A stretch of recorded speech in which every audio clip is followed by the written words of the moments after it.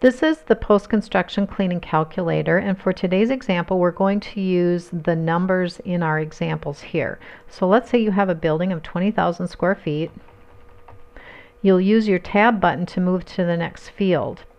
Now we have three different levels of cleaning. We've got a rough clean, a light clean, a final clean. You can give an estimate for any one of these phases or if you're going to, going to do all three phases you can do an estimate for all three. So you can either enter a production rate or an hours per cleaning.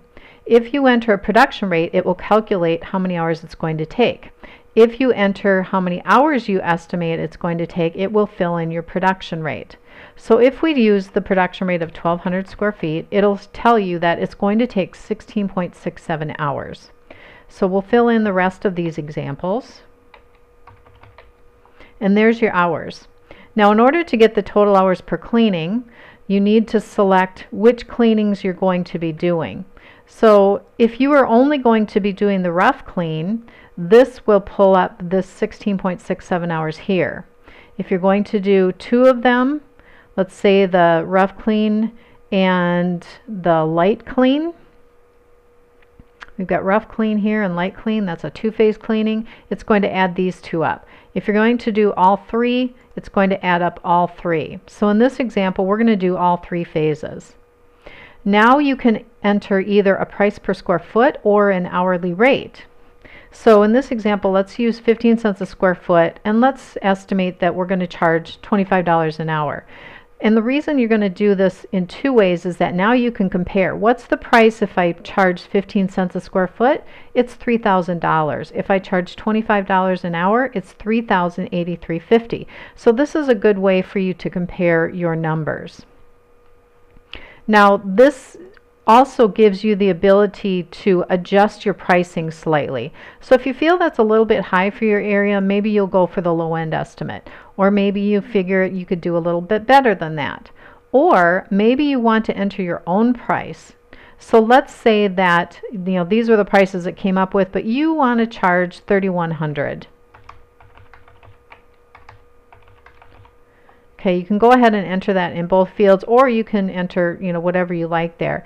Let's say that you're going to have five employees on this job and they're each going to get paid $11 an hour. So all you have to do is enter their hourly wages and hit the tab and it's going to tell you how much time on that job that is going to be required. And so you'll see as you enter more employees, each time on the job goes down because they're going to be sharing the total hours. So if you had five employees, each employee would get 24.67 hours.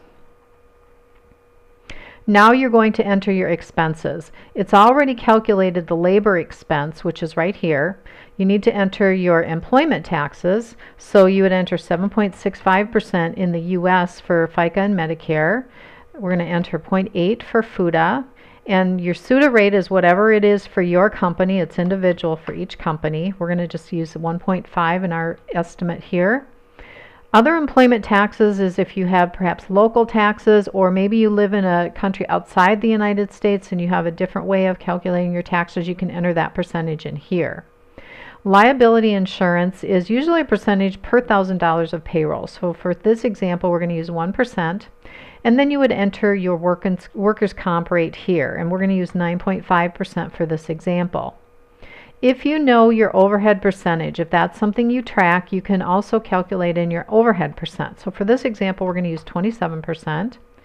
You can also enter in your estimated percentage of supplies that it's going to take. So let's just say it's going to be 10% on this job which might be a little high, but if you're adding in floor care expenses into the total estimate, you might add that in here.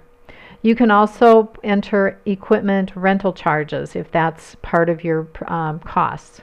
So here's your total expenses for this job. And then here is the results. If you're going to charge $3,100, your cost is 2136.36.